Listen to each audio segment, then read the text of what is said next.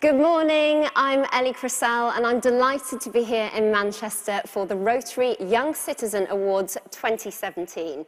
This year is the 10th anniversary of the awards to celebrate the achievements of a very special group of young people. I presented the awards when they first began back in 2007. Since then, hundreds of young people have been recognised for the amazing work that they do. Each year, Rotary clubs across Britain and Ireland nominate youngsters for the awards. The eventual winners for 2017 are with me on the stage. Let's hear more about them. Our first award goes to teenager Abby Booker. Abby is in care, but she works tirelessly and selflessly to ensure other children have the best experience that they can. She spends her time volunteering, helping out with a number of schemes, and tries to change the way adults deal with young people in care. She was nominated for the award by the Rotary Clubs of Doncaster and Doncaster St Leger. This is her story. Hiya. Hi, please may I have two copies of next please? Yeah. Have you signed in yet? My name is Abby, I'm 15 and I'm from Doncaster. I've been in care for four years and I remember the first few years was a major struggle for me emotionally because I had so many different people and so many different things going on in my life and I knew what I wanted, I knew what I wanted to say, I knew that I had my own opinions on things but I was never really given that chance, I was just dismissed. And I think when I'd found the courage to sort of speak out myself, I just thought, right, that's it. I now know that I can say this, so I'm going to let other children have the opportunity. And I've just given them. We've got some sports going on. Yeah. I don't know if you want to... Abby is one in a million, uh, to be honest with you. She gives her time um, freely. She's a great advocate for young people. She offers them support, she offers them advice. She's very much helped shapes the service as well, the way the independent visitor scheme runs. For me, before I came into care, I didn't really have a childhood. I basically raised my two younger brothers. I sort of was given all the family's dilemmas and problems they were put on my shoulders. Care changed my life. I did things that a normal 13 year old should do instead of staying at home and cooking meals. It was difficult, but at the same time easy, and it was just a massive relief. I don't think I will ever stop doing what I'm doing. Never, ever stop. So for me, I'm going to take it further and make sure that every child in care has a voice and every child is loving being in care.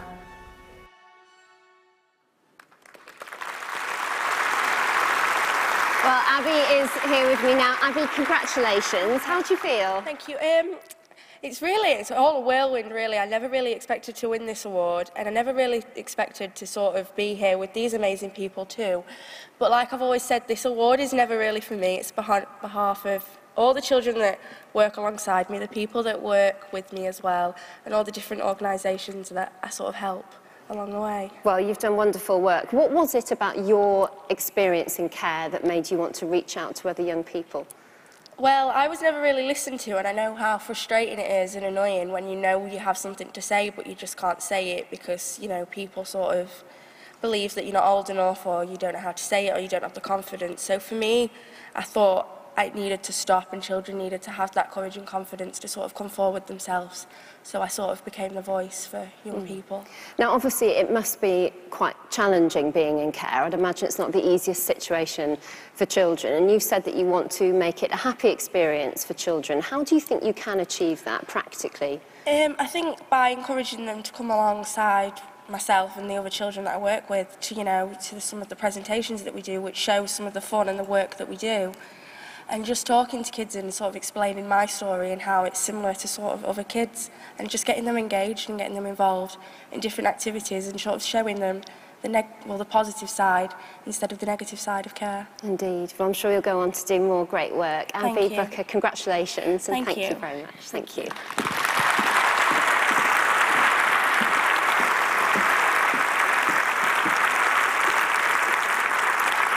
Our next Young Citizen Award goes to 18-year-old Harry McCann from County Kildare.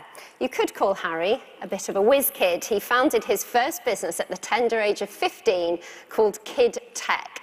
Over the space of 16 months, he taught more than 800 children how to computer code. And in 2014, he founded the world's first digital youth council. He was nominated by the Rotary Club of Naas. Let's find out more. Hello. So what generally happens here on a Tuesday evening is around 20 or so local kids come in to learn how to code. So we introduce kids as young as seven to coding and get them involved in not just being users of technology, but also creators and builders of technology. My name is Harry McCann. I'm 18 years old. I'm a Leaving Cert student from Clane and Kildare, and I'm the founder and director of the Digital Youth Council of Ireland. I'm a CoderDojo mentor and an entrepreneur. I have a passion for technology and I enjoy sharing that with the kids. I just think it's a great opportunity to be able to show them that they can not just use technology, but they can also learn how to build things for it and control their technology as well. These kids are very much my generation, are just people who are on Facebook, on Twitter, who are just using YouTube. But they're not. They understand that somebody's built it and they understand that if they put a lot of work in and if they understand their technology, they too can build the next Facebook, the next Google, the next Twitter, the next billion dollar business online. I don't do it for the recognition. I've, I've never worked to kind of receive trophies or receive awards. It's always just been the added bonus and I suppose it's great encouragement for me to be able to go on and do other things after. It's a good motivator. It's, it's just great to be able to get involved in something that you know, the kids enjoy, I enjoy doing, and you know to be able to share a passion for technology that I have with other people. Um, especially when the kids get to go on and you know have the opportunity to go and build bigger and greater things.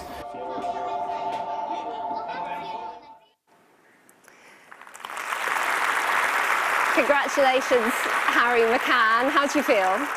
Yeah, I'm, I'm honoured to receive the award. Um, as I said in the VD, it's I don't do it for the awards. I don't do it for the recognition.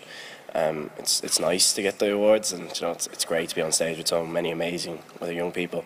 But um, yeah, it's great. It's good, f- as I said, to the kids as well. It's it's great that I can show other kids who are younger than me and who I'm working with that you know a lot of hard work and a lot of passion for something can lead to great things, and this is one of them. Why coding? Why coding? Uh, yeah, that's a good question. Why coding? Um, I suppose it's just because I think it's the future. Um, everyone has a phone in their pocket, everyone has a laptop or an iPad or whatever it might be. And I think it's really important that we don't just become users of this technology, but also builders and creators of technology. I think it offers so many opportunities for young people, and I think they could have a really great future if they can understand not just how to use them, but how to build things for them as well. Any f- future Bill Gates amongst your, your lot? I bet they pick it up quickly, though, right? Quicker than I would. It's incredible. Um, like some kids come in and they can code websites and build apps, but they still can't tie their own shoelaces. So Who needs to tie your own shoelaces? yeah, like you're coming in and you're going, they might be the next Bill Gates, and if they're the next Bill Gates in a year or two, they're still going to need their mums and dads to come along with them. But uh, yeah, It- it's, it's the future. It's the future, and you're part of it. Harry McCann, congratulations. Thank you well very done. much. Thank you.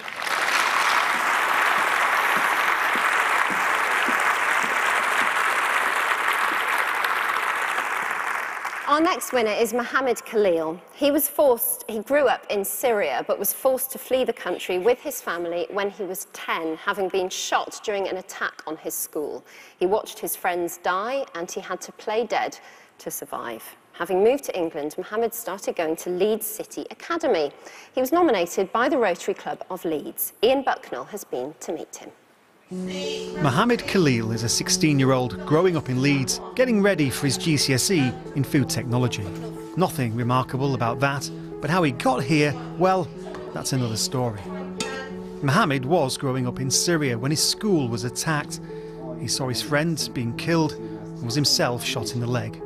To survive, he pretended to be dead until the attackers had gone. I cry when I sleep because I can't. I put like I can't remember my friends and my head is go. I can't go in my. It's not going for my head.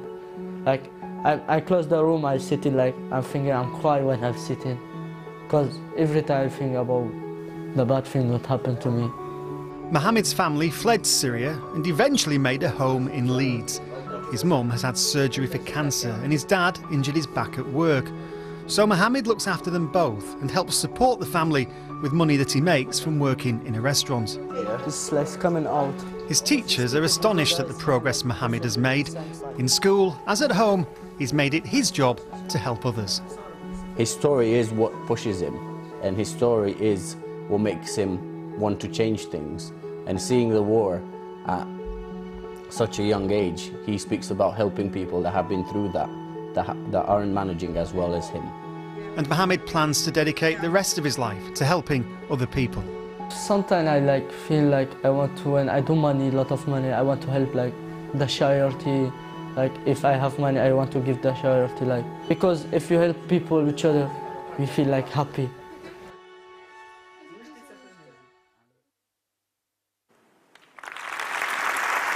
Congratulations, Mohammed. How do you feel to be here? Happy. Yes.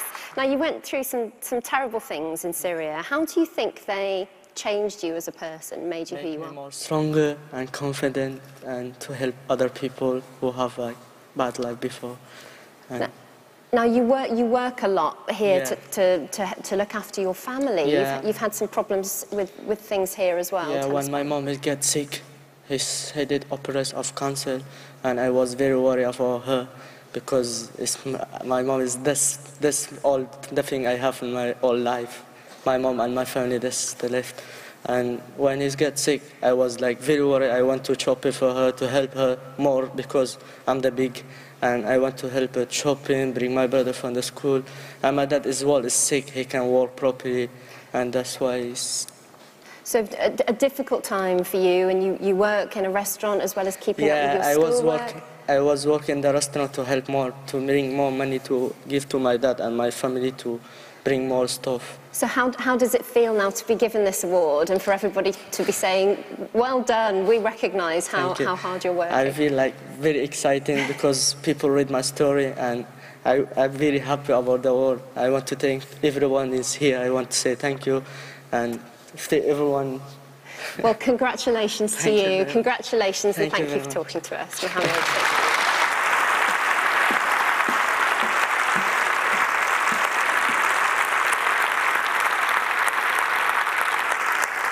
For the second year, we're presenting the Rotary Young Citizen Wheelchair Sport Award, sponsored by the British wheelchair sport charity WheelPower. The award goes to 15-year-old Kare Adenegan. Kare, who was born with diplegic cerebral palsy, was inspired by the London 2012 Paralympics to take up wheelchair racing.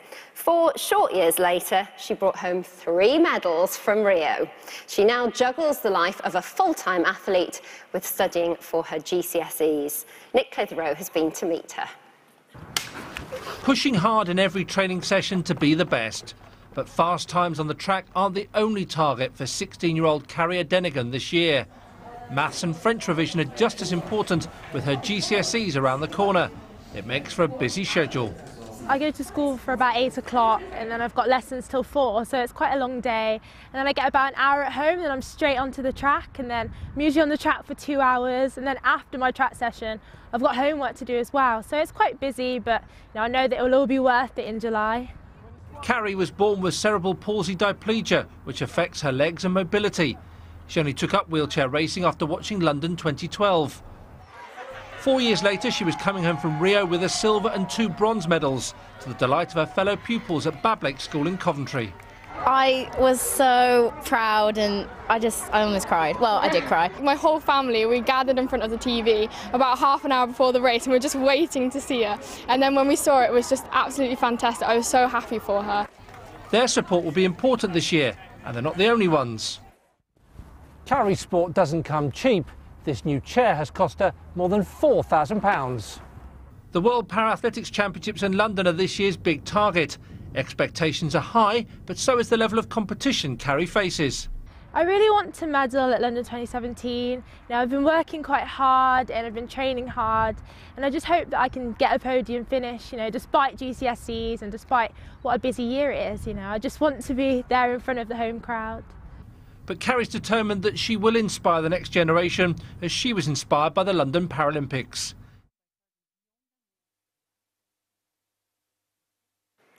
Well, that was Kare Adenegan, winner of the Rotary Young Citizen Wheelchair Sport Award. She can't be with us today. She's having a very well-earned day off at a family birthday party. So we wish her well and send on our congratulations. Our next...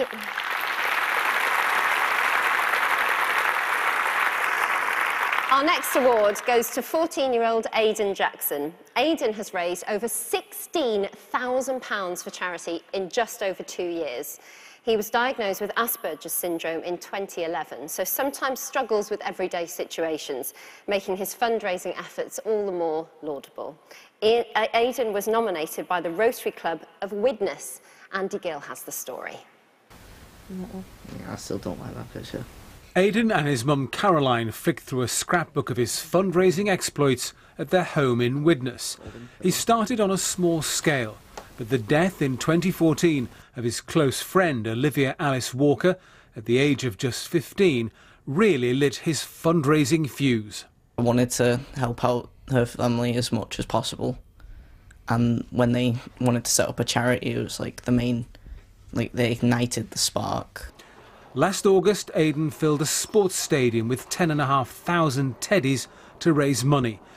Why is it so important to you that you do this, that you do help people? Even if it's just one person, that one person, it's going to make a big change to their life and it's going to help them out a lot. And all this despite the problems caused by his Asperger's. Day to day things were a struggle, um, and they still are. But when it comes to fundraising, it's just a different person. As well as Asperger's, Aidan has a condition which causes him to walk on his toes. He may need surgery, which would keep him in plaster for six weeks and in splints for a year. I have to just try and deal with it at my own pace, just slow down a little bit. Aidan's raised more than £16,000 in just two years. He'll find out next week if he does need an operation or not.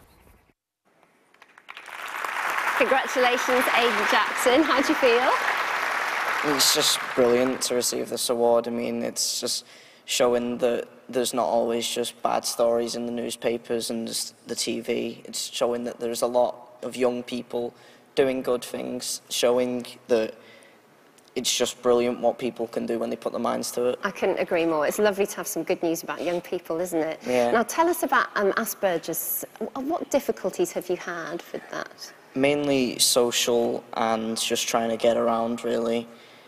As, as a child I struggled making friends and trying to strike up conversations with people but during my fundraising it's been a lot easier to actually get to know people, giving me topics to talk about and just genuinely making new friends. So what, what drove you to, to fundraise? What made you think one day, you know what, I'm going to raise some money? Mainly to keep the, um, my friend Olivia's memory alive and also to help out other people making sure that what happened to her doesn't happen to anyone else. Indeed. Well, fantastic work, Aidan. Congratulations. Thank you, Thank you for talking to us.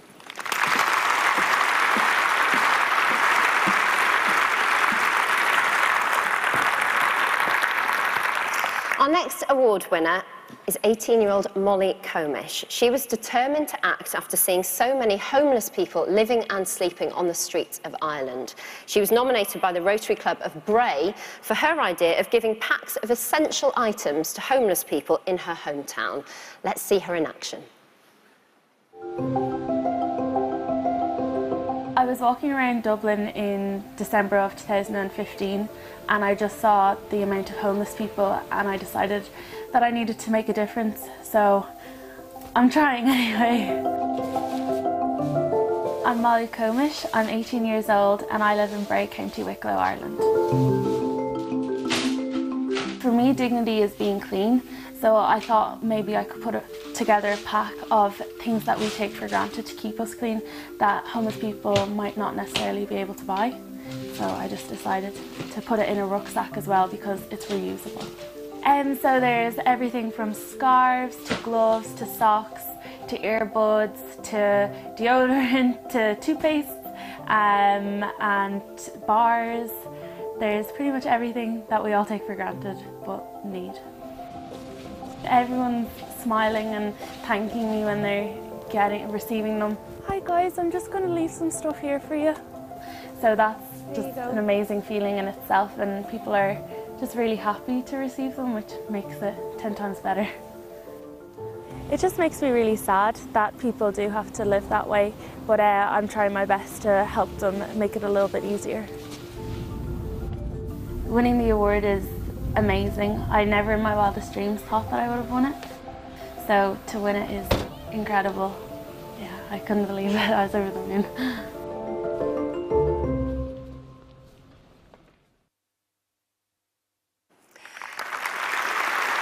Congratulations, Molly. How do you feel? Um, I'm over the moon. I can't believe I've won it. Yeah, it's amazing. Now, it's, it's such a simple idea, but such a, such a lovely thought. What, what gave you the idea to come up with these dignity packs? Um, I just saw so many homeless people sleeping on the streets and I thought this isn't right so I decided I wanted to make a change and I decided to make 30 by myself so I didn't tell my mum or dad or no one and then they caught me bringing in 30 wet wipes and they were like what's going on yeah. so I had to tell them. Stop them. putting toothbrushes on the shopping yeah, list. exactly. so then I just had to tell them and then it's kind of just expanded and we made 120 this year. Wow. And Yeah. what, what's the reaction from people when you pass them over? Everyone's just so happy. They want to hug you. They want to say thank you, and it's it's such a good feeling when you give them out. Yeah. And, and what next for you? Are you looking to expand So it? we've got our stage one of charity status now, so we're going on to stage two. But we also want to expand nationwide and maybe to the UK as well, which would be great. Yeah, so love- love to have Yeah, you. we would, would love to get in contact with charities and maybe other Rotary groups, as Bray Rotary is really supportive of this idea. So we'd love to expand out. Now, you, you had some attention from uh, people like the Irish Health Minister. Yeah. Are you surprised by how much attention it's got? Yeah, it's kind of crazy. Like, I just thought it was going to be a little thing that no one would really know about. So to be up here now in front of everybody is just incredible. Well, it started off as a small seed and Yeah. now it's a big tree. Exactly. Congratulations Thank to you you so and good luck with your future endeavours. Thank you. Thank you, Molly. Thank you so much.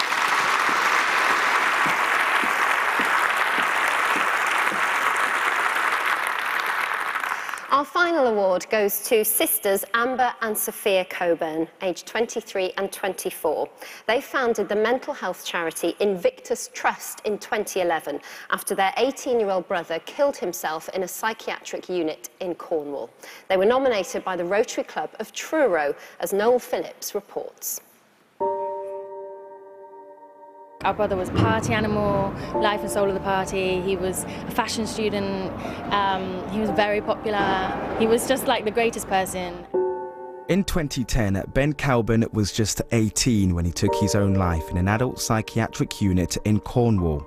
Within the a few hours of losing Ben, we were in disbelief. It shouldn't have happened. Ben shouldn't have been able to take his own life in a mental health hospital. His sisters, Sophia and Amber, wanted to keep Ben's legacy alive, so they set up their own charity, the Invictus Trust, as a way to support other teenagers with mental health problems. After Ben had passed away, really not very long after, um, my mum sat down with us, uh, my sisters and my dad, and just said that she felt really strongly that we had to change the services. Really didn't want to be a family that became quite bitter because we felt like Ben had been let down and we needed to change what was available for teenagers in Cornwall and what support and services could be enhanced really and better provided. After three years of campaigning for a mental health unit for young people in Cornwall, it was recently announced that the NHS will be building the first ever specialist unit in the county. Feels amazing. Um, it's been seven years now that we've been running the charity, but some, sometimes it's gone so fast, sometimes it's gone so slow. Um, we've been lobbying for a unit, which has been a long, hard journey, and we finally got confirmation that the NHS will build a, a unit for young people in Cornwall.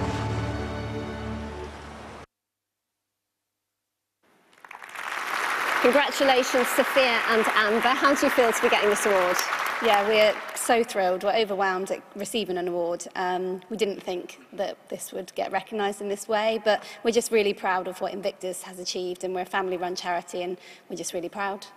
How do you feel, tell me, about how your brother was let down by the existing services in Cornwall at the time?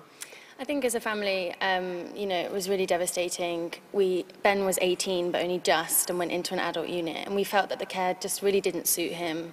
Um, it wasn't very hopeful. It didn't understand him as a young person, and we really felt that it did let him down. But then increasingly through our work with Invictus, we realised had he been under 18, he wouldn't have even been seen in the county, um, as we have no mental health beds for young people.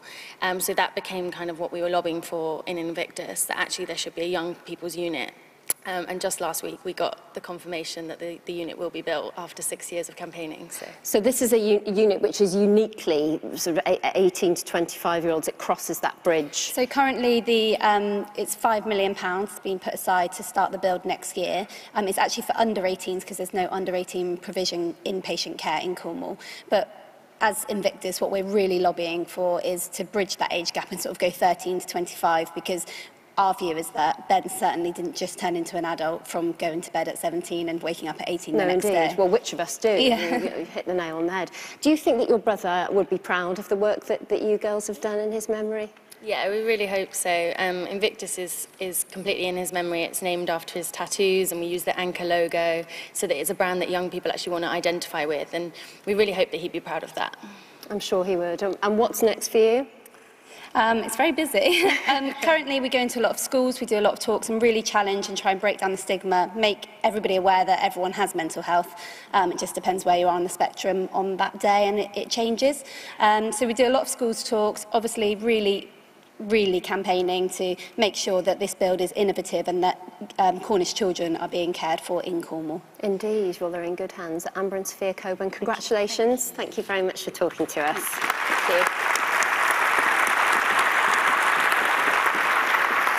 Well, joining me now is the president of Rotary International in Great Britain and Ireland, Eve Conway, who started the Rotary I, Young I Citizens. it, uh, indeed, Ellie, and you were there as well. I was. the We were there 10 years ago. Can you believe how quickly I can't it's gone? it. We still look as young, I hope, as we did then. of course, we're younger, younger. And what about some of the stories you've, you've heard here today? Absolutely inspirational, and that's why the awards were started 10 years ago to showcase positive young role models like the people we have here today and overcome these negative stereotypes. Because, you know, then as now, the headlines are so often dominated by bad news about young people, and we know that the majority of young people aren't like that. And I think that, you know, with Rotary, uh, we have so many projects, our Young Citizen Awards, uh, with our inspirational, amazing youngsters here today, Young Chef Youth Speaks, Youth Leadership Awards, a young musician, you know, because we know that young people are all our futures, and we need to invest in them, really. We do, and celebrate their achievements. And celebrate their achievements. We do. Eve, thank you very much. Eve Conway, President of Rotary in uh, Britain and Ireland, thank you for joining us. So congratulations to all this year's winners who were nominated by Rotary clubs across Britain and Ireland. I'm sure you'll agree we've heard some incredible stories. We've been moved and I'm sure we've all been inspired. I know I have. Congratulations to all of you. Thank you very much for, very much for joining us this year. Bye-bye.